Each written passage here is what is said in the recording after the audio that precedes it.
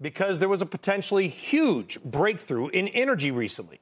A nuclear fusion reaction at the Lawrence Livermore National Lab in California produced more energy than it took to generate, potentially unlocking the decades old promise of fusion. Now, if this ever really occurred en masse, it could create nearly unlimited energy and, and I don't think this is an overstatement to say this, change the course of humanity, change the world.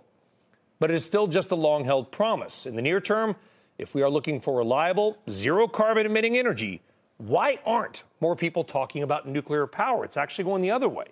Many states trying to shut down their nuclear plants. California, by the way, gets about 8% of all of its electricity today from nuclear, but is still talking about shutting down the one plant which is making that 8%. That's Diablo Canyon. Let's talk more about it with Ted Nordhaus. He is founder and executive director of the Breakthrough Institute. Ted, why aren't more people talking about nuclear? Are we still do we still have the Three Mile Island Chernobyl on the brain?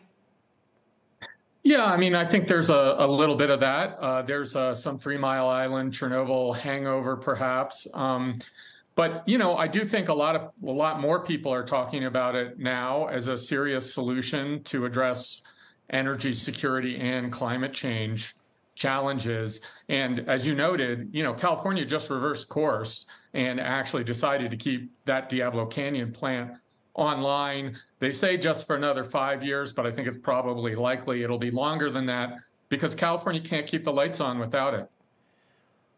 Yeah, and there was a nuclear plant near where I grew up called San Onofre, and, and that got shut down. And I, you know, I, I never really thought much about it, I guess, as a, as a kid or a young teenager. And now it's now it's gone. And you say, well, why can't we bring these back?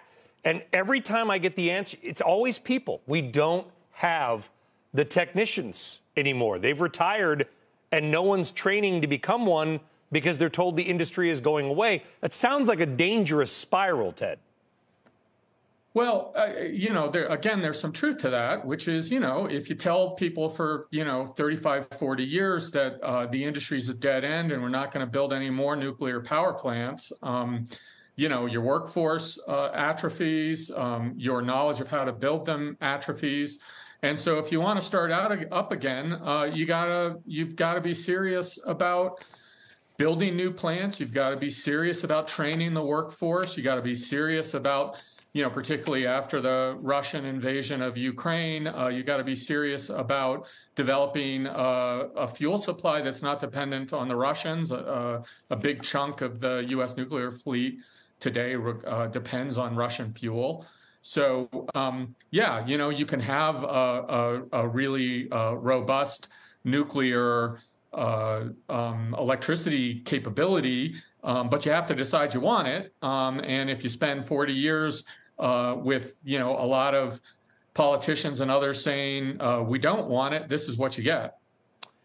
And now we're being told this is what you're going to get down the road, and there's a lot of issues with. There's no perfect energy source, is there, Ted? I mean, fossil fuels, they emit, they contribute carbon dioxide, they contribute to climate change and global warming. Solar panels, well, guess what? They're made a lot of times in Uyghur forced labor camps in China Wind turbines, well, you need the wind to blow. There is no perfect energy source, but when I look at nuclear, I think this seems about as good as any if we can eliminate the Fukushima type risk. Is that possible? Yeah, I mean, the first thing to say, the Fukushima type risk uh, is pretty low risk. I mean, the um, World Health Organization says that literally there will be no excess deaths as a result of radiation exposure from Fukushima. Uh, it was a serious industrial accident, to be clear. Uh, we have industrial accidents of all sorts all the time, and actually, nuclear accidents historically have been pretty benign. So, um, but you know, we still have this sort of outsized public fear of radiation. It's often stoked uh, by ideological interests who are very opposed to the technology. Um, but when you look at the trade offs and when you look at the alternatives, to your point, nuclear is a pretty good option. Uh, it doesn't emit conventional air pollutants, it doesn't emit greenhouse gases. It has a really small land use footprint. Even the mining for the uranium, because it's such a dense energy mm-hmm. source, uh, you need a lot less mineral uh, and other mi- minerals and other mining uh, to produce the energy that you get from a nuclear plant than just about any other form yeah. of energy. So for all those reasons, pretty good choice.